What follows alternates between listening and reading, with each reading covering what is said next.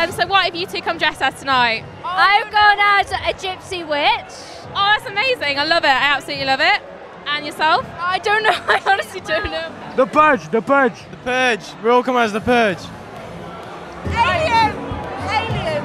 But some people think I'm Medusa. Came out of an operation, and as you can see, it, it went well. Very good. Myself. Um, I'm just dressed up. I'm a cowboy, although someone stole my hat. I'm really fuming. A sexy nun. I think you're fabulous. Absolutely fabulous. What? I think you're fabulous.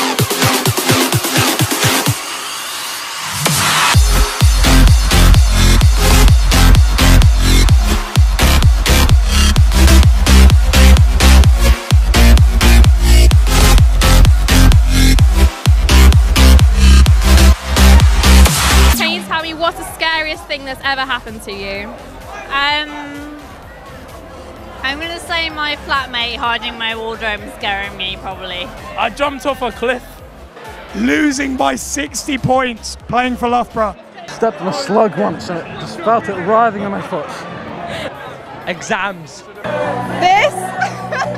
I uh, I woke up in a chicken field. Sasha started dancing with me and that's quite scary. Finding out that I got into my overdraft, that was quite scary. When I, when I woke up in the morning, I was quite deep in it. I was like,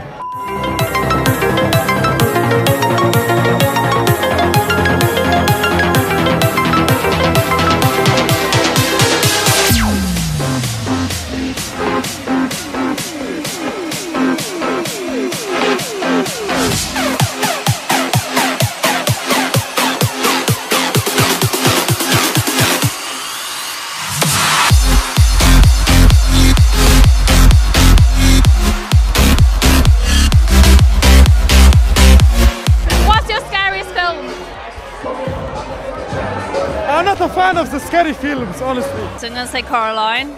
Coraline. Yeah. Oh, that's fantastic. Scary. Uh, gotta say Psycho. Psycho. American Psycho. American Psycho. The Conjuring! Conjuring! What about you?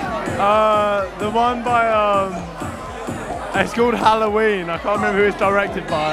Yeah, I don't like horror films, so none.